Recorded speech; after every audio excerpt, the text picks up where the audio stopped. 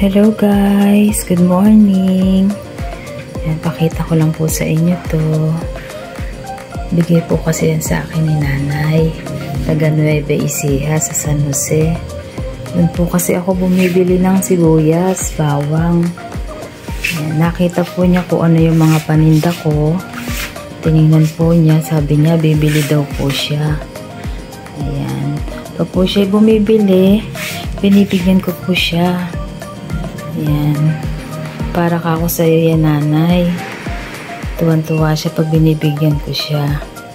Lagi po kaming nadaan doon. At binibigyan ko din po yung apo niya, si tatay, at saka siya ng mga short.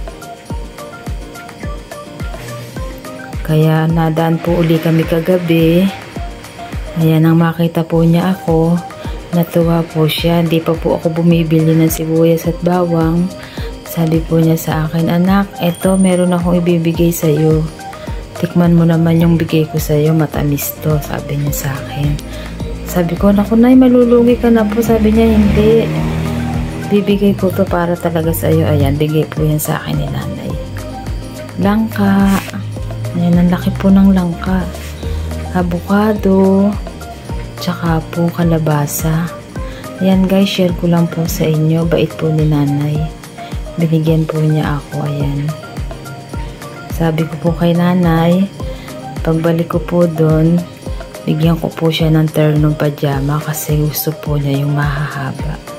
Tuwan-tuwa po siya. Sabi niya sige anak antahin kita. Kaya yan sabi ko sa kanya sige na i-promise ko sa bibigyan kita ng terno ayan guys so bait po ni nanay.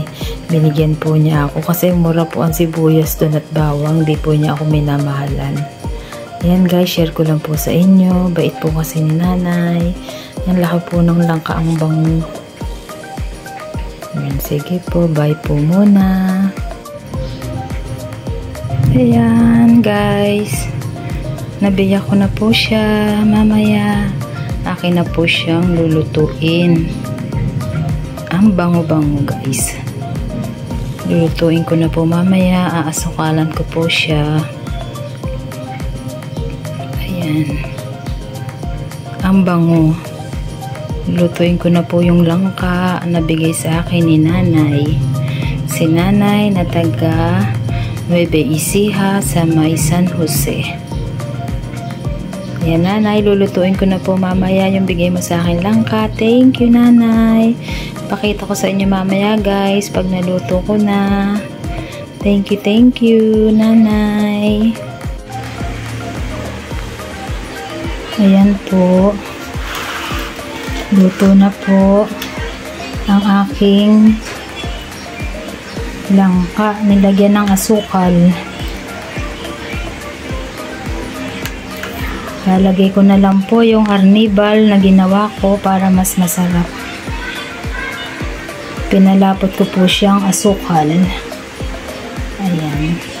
Sarap po yan. Galing po yan kay nanay ng San Jose sa May Ecija.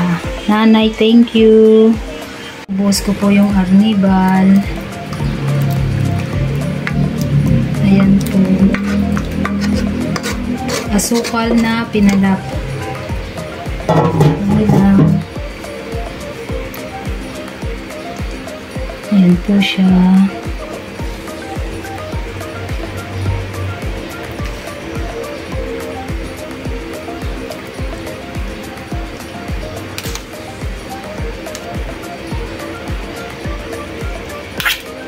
Ayan na po. Luto na ang minatamis na langka. Ayan guys. Okay na. Okay na po.